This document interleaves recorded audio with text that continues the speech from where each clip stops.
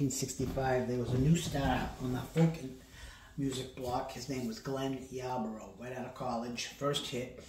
Um, and he sang the song, which is entitled of the movie. And the song did relatively well. It went to, I think, number 12 on the charts in 1965, but in the United States and in South Africa, it went to number three. Don't know why, don't know how. But here is Glenn Yarbrough's Baby, the Rain Must Fall.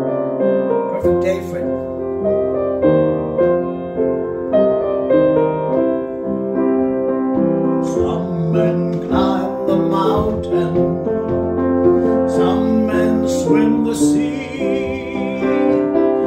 Some men fly above the sky, they are what they must be.